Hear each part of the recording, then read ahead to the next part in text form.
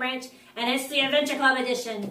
And we're going to talk about the Chinese New Year or the Spring Festival. Now, it is celebrated in other countries, not just in China. So it's referred to as a Lunar New Year, but for our purposes, we're going to talk about the Chinese tradition surrounding the Lunar New Year.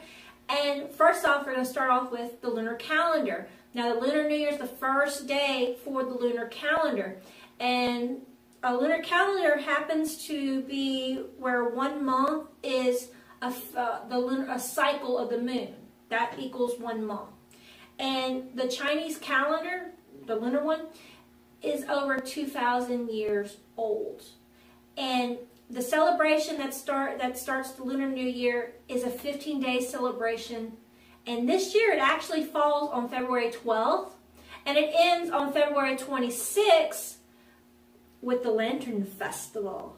Now during this time, families are coming together, they're celebrating, they're eating a special meal together, there's fireworks, they're exchanging gifts, and usually these gifts are money in a red envelope because red is a lucky color. Now, I have in our Kentwood's Grab and Go a kit for you, and in the kit, we're gonna have facts, and um, book, rec book recommendations about the Chinese New Year.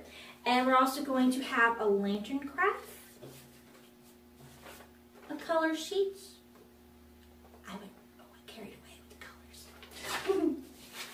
and we're going to have a Chinese zodiac chart. And the reason why you're going to have a Chinese zodiac chart is because each year, according to in the Chinese calendar, is named after an animal that's on the zodiac. So there's a it's a 12-year cycle based on the 12 animals. And this year happens to be the year of the ox. Today's craft is going to be an ox bookmark.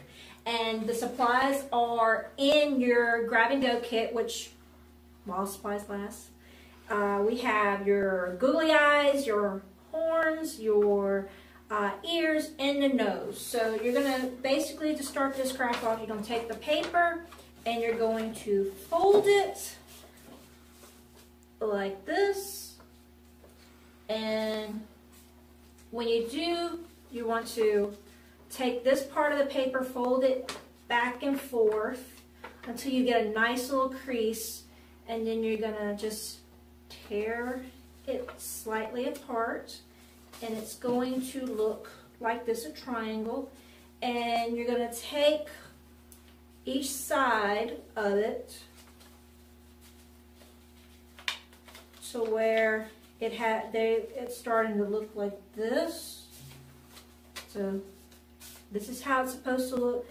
And then you're going to take this and this piece right here you're going to bend it, not all the way, just a little bit to where it looks like this. And once it looks like this, you're going to take this in and you're going to tuck it in here. You're going to do that to both ends to where it looks like this. Now, oh, you want to do the back part first where you're going to add your horns in your ears. Now, if you lose your ears, all, all it is is two teardrops. You just make two teardrops for that. And you can either use glue or you can use tape if the glue isn't working. And which we did tape right here on the back of it. And then on the front, you put it in your nose. You use a marker, permanent marker, black marker, and you put little dots right there and then you peel and stick the eyes and then your ox is done. So here's our little ox bookmark.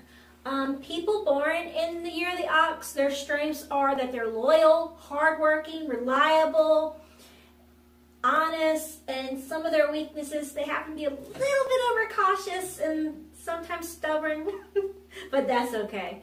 Um, People who are also born in the year of the ox, they tend to find their best careers are in the arts.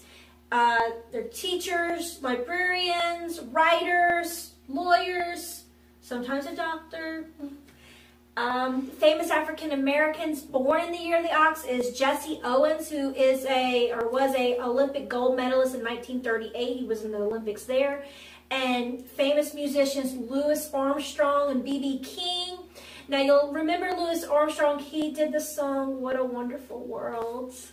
And Morgan Freeman, a famous actor, also born in the year of the ox.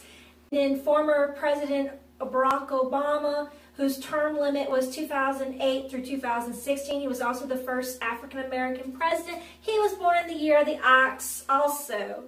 So that's really cool to find out. And some of the uh, resources, if you look for people born in the year of the ox, they'll give you a list of uh, different celebrities and histori historical people that were born in the year of the ox. Um, again, the kits that we have for the grab and go in Kentwood are while supplies last.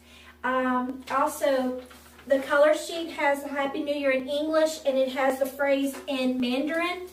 And if you're like me and you're trying to learn a different language, the library does offer uh, some resources like Pronunciator, and we have a, the library version of Rosetta Stone. If you ever want to learn Mandarin, or if you want to learn another language, and this is what type of languages are provided, this will be also in your kit.